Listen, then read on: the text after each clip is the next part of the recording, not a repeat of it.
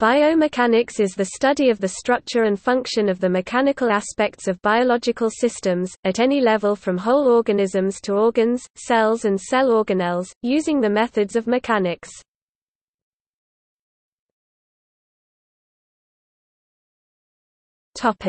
Etymology The word, biomechanics 1899 and the related Biomechanical 1856 come from the ancient Greek bisbios, life, and mechanike, mechanike, mechanics, to refer to the study of the mechanical principles of living organisms, particularly their movement and structure.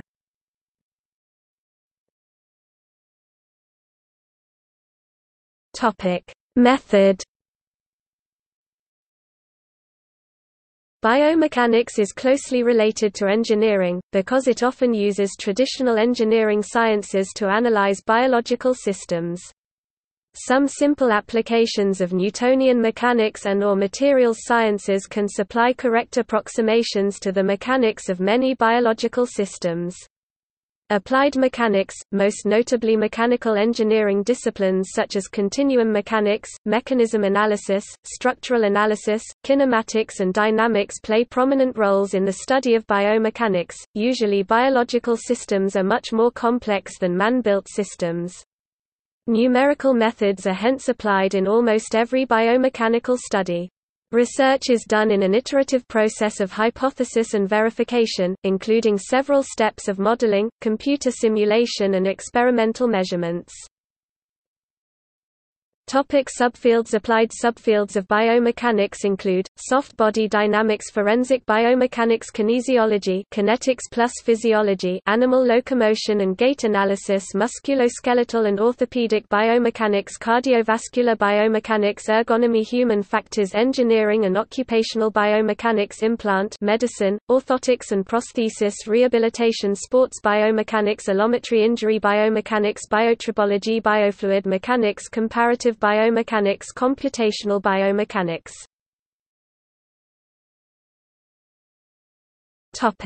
Sports biomechanics. In sports biomechanics, the laws of mechanics are applied to human movement in order to gain a greater understanding of athletic performance and to reduce sport injuries as well. It focuses on the application of the scientific principles of mechanical physics to understand movements of action of human bodies and sports implements such as cricket bat, hockey stick and javelin etc.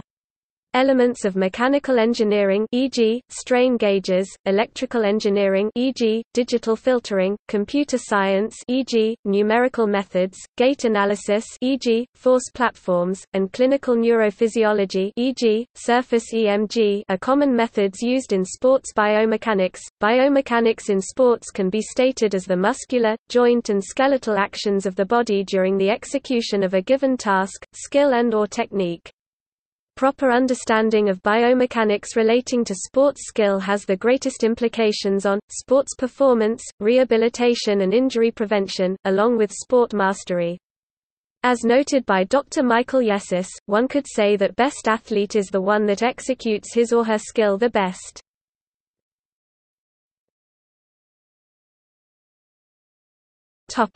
Continuum biomechanics The mechanical analysis of biomaterials and biofluids is usually carried forth with the concepts of continuum mechanics. This assumption breaks down when the length scales of interest approach the order of the microstructural details of the material. One of the most remarkable characteristic of biomaterials is their hierarchical structure. In other words, the mechanical characteristics of these materials rely on physical phenomena occurring in multiple levels, from the molecular all the way up to the tissue and organ levels. Biomaterials are classified in two groups, hard and soft tissues. Mechanical deformation of hard tissues like wood, shell and bone may be analyzed with the theory of linear elasticity. On the other hand, soft tissues like skin, tendon, muscle and cartilage usually undergo large deformations and thus their analysis rely on the finite strain theory and computer simulations. The interest in continuum biomechanics is spurred by the need for realism in the development of medical simulation.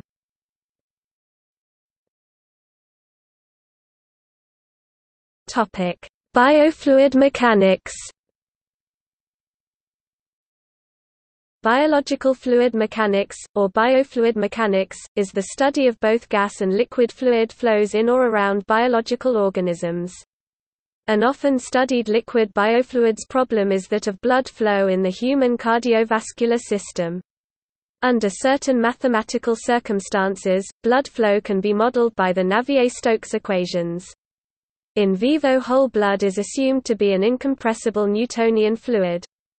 However, this assumption fails when considering forward flow within arterioles. At the microscopic scale, the effects of individual red blood cells become significant, and whole blood can no longer be modeled as a continuum. When the diameter of the blood vessel is just slightly larger than the diameter of the red blood cell the Fahraeus-Lindqvist effect occurs and there is a decrease in wall shear stress. However, as the diameter of the blood vessel decreases further, the red blood cells have to squeeze through the vessel and often can only pass in single file. In this case, the inverse Fahraeus-Lindqvist effect occurs and the wall shear stress increases. An example of a gaseous biofluids problem is that of human respiration.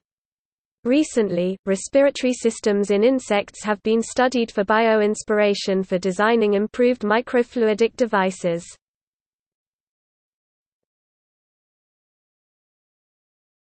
Topic: Biotribology.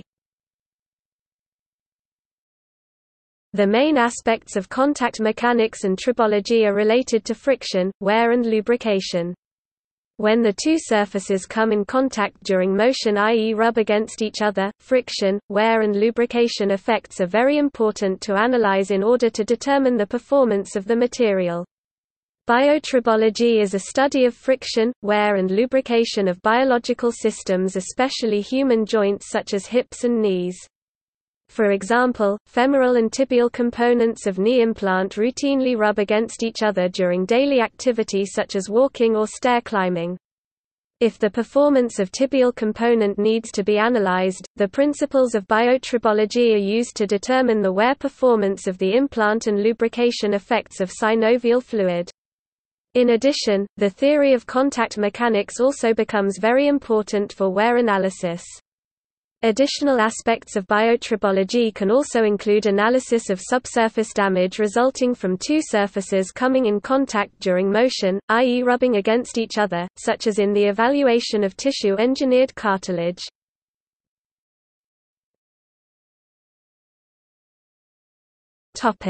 Comparative biomechanics Comparative biomechanics is the application of biomechanics to non-human organisms, whether used to gain greater insights into humans as in physical anthropology or into the functions, ecology and adaptations of the organisms themselves. Common areas of investigation are animal locomotion and feeding, as these have strong connections to the organism's fitness and impose high mechanical demands. Animal locomotion, has many manifestations, including running, jumping and flying. Locomotion requires energy to overcome friction, drag, inertia, and gravity, though which factor predominates varies with environment. Comparative biomechanics overlaps strongly with many other fields, including ecology, neurobiology, developmental biology, ethology, and paleontology, to the extent of commonly publishing papers in the journals of these other fields. Comparative biomechanics is often applied in medicine with regards to common model organisms such as mice and rats as well as in biomimetics, which looks to nature for solutions to engineering problems.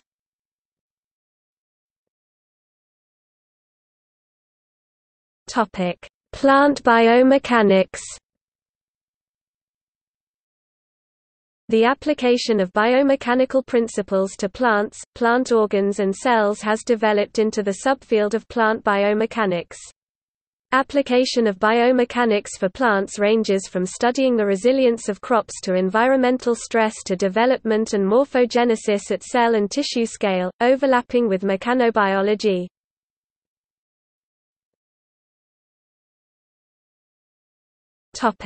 Computational biomechanics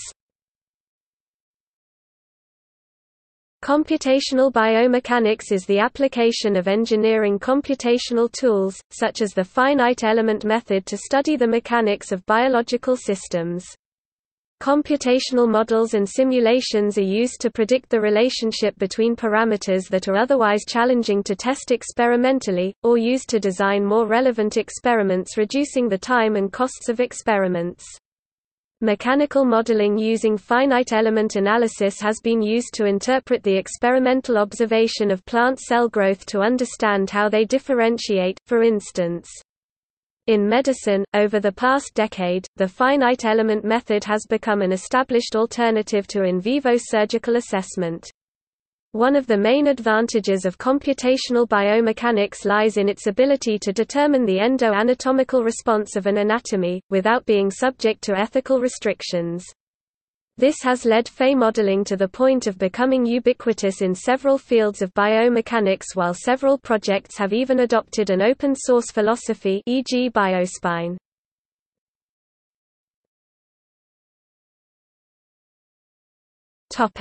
History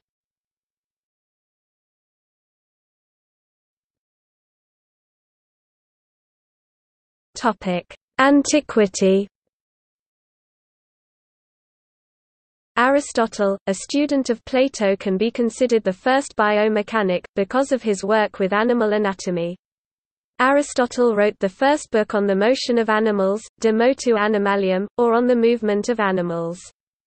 He not only saw animals' bodies as mechanical systems, but pursued questions such as the physiological difference between imagining performing an action and actually doing it.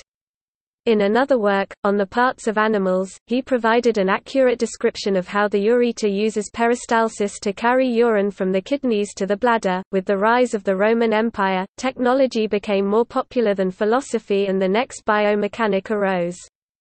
Galen 129 AD to 210 AD, physician to Marcus Aurelius, wrote his famous work, On the Function of the Parts about the human body. This would be the world standard medical book for the next 1,400 years.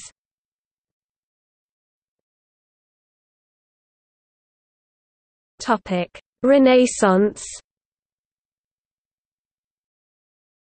The next major biomechanic would not be around until 1452, with the birth of Leonardo da Vinci.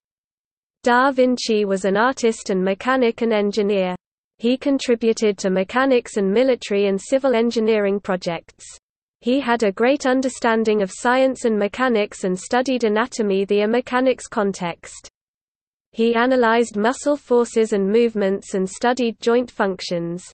These studies could be considered studies in the realm of biomechanics. Leonardo da Vinci studied anatomy in the context of mechanics.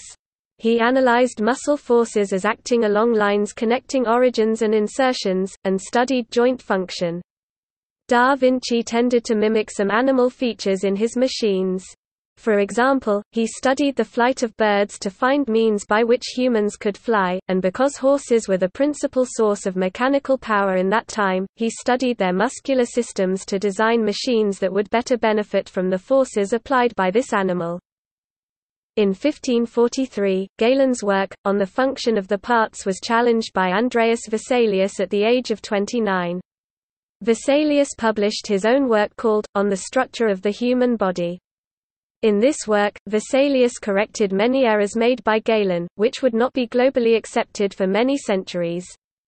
With the death of Copernicus came a new desire to understand and learn about the world around people and how it works. On his deathbed, he published his work, On the Revolutions of the Heavenly Spheres. This work not only revolutionized science and physics, but also the development of mechanics and later biomechanics. Galileo Galilei, the father of mechanics and part time biomechanic, was born 21 years after the death of Copernicus. Galileo spent many years in medical school and often questioned everything his professors taught. He found that the professors could not prove what they taught so he moved on to mathematics where everything had to be proven. Then, at the age of 25, he went to Pisa and taught mathematics. He was a very good lecturer and students would leave their other instructors to hear him speak, so he was forced to resign. He then became a professor at an even more prestigious school in Padua. His spirit and teachings would lead the world once again in the direction of science. Over his years of science, Galileo made a lot of biomechanical aspects known. For example, he discovered that Animals' masses increase disproportionately to their size, and their bones must consequently also disproportionately increase in girth, adapting to load-bearing rather than mere size. The bending strength of a tubular structure such as a bone is increased relative to its weight by making it hollow and increasing its diameter. Marine animals can be larger than terrestrial animals because the water's buoyancy relieves their tissues of weight. Galileo Galilei was interested in the strength of bones and suggested that bones are hollow because this affords maximum strength with minimum weight. He noted that animals' bone masses increase disproportionately to their size.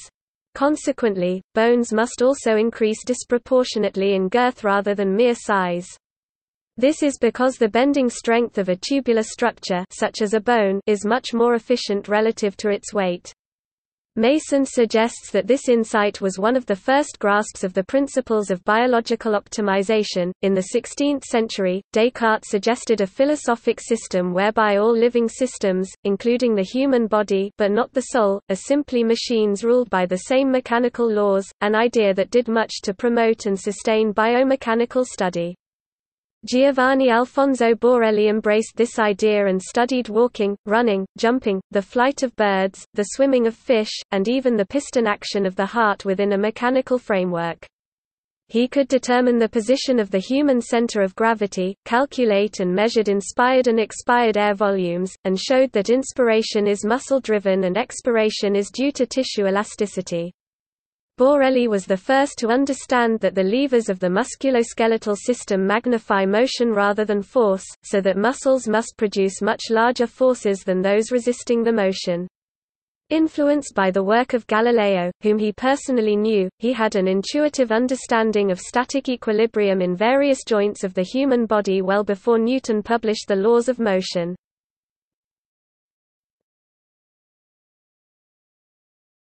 Topic: Industrial era The next major biomechanic, Giovanni Alfonso Borelli, was the first to understand that the levers of the musculature system magnify motion rather than force, so that muscles must produce much larger forces than those resisting the motion. Using the works of Galileo and building off from them, Borelli figured out the forces required for equilibrium in various joints of the human body.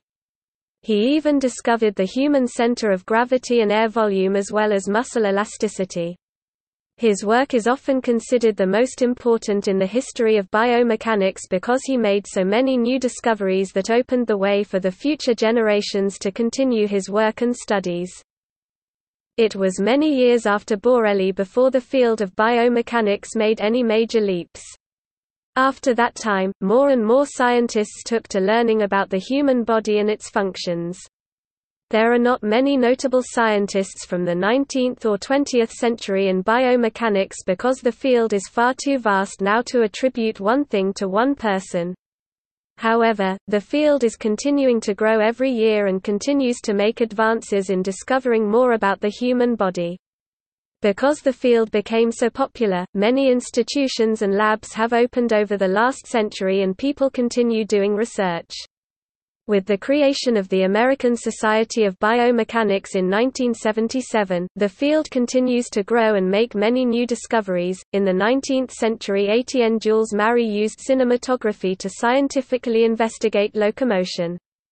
He opened the field of modern motion analysis by being the first to correlate ground reaction forces with movement.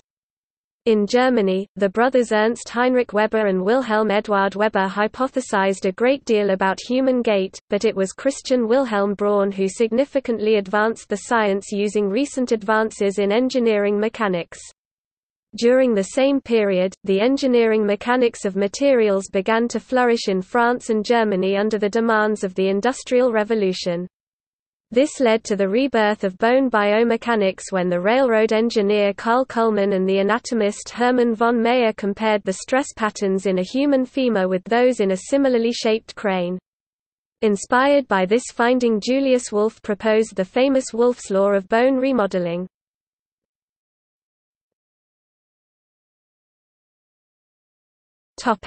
Applications The study of biomechanics ranges from the inner workings of a cell to the movement and development of limbs, to the mechanical properties of soft tissue, and bones.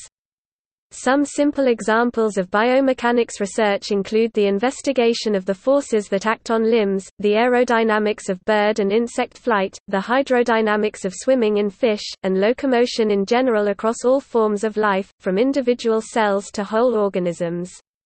With growing understanding of the physiological behavior of living tissues, researchers are able to advance the field of tissue engineering, as well as develop improved treatments for a wide array of pathologies including cancer. Biomechanics is also applied to studying human musculoskeletal systems.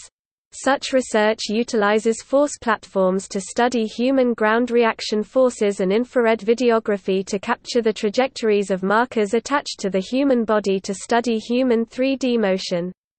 Research also applies electromyography to study muscle activation, investigating muscle responses to external forces and perturbations. Biomechanics is widely used in orthopedic industry to design orthopedic implants for human joints, dental parts, external fixations, and other medical purposes.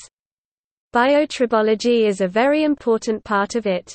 It is a study of the performance and function of biomaterials used for orthopedic implants. It plays a vital role to improve the design and produce successful biomaterials for medical and clinical purposes. One such example is in tissue-engineered cartilage, see also forensic biomechanics.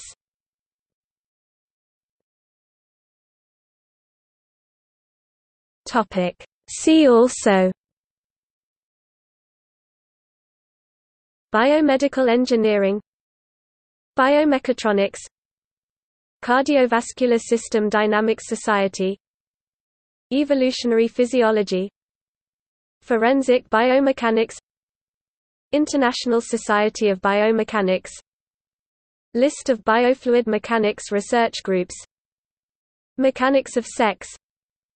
SIMTK OpenSim Physical oncology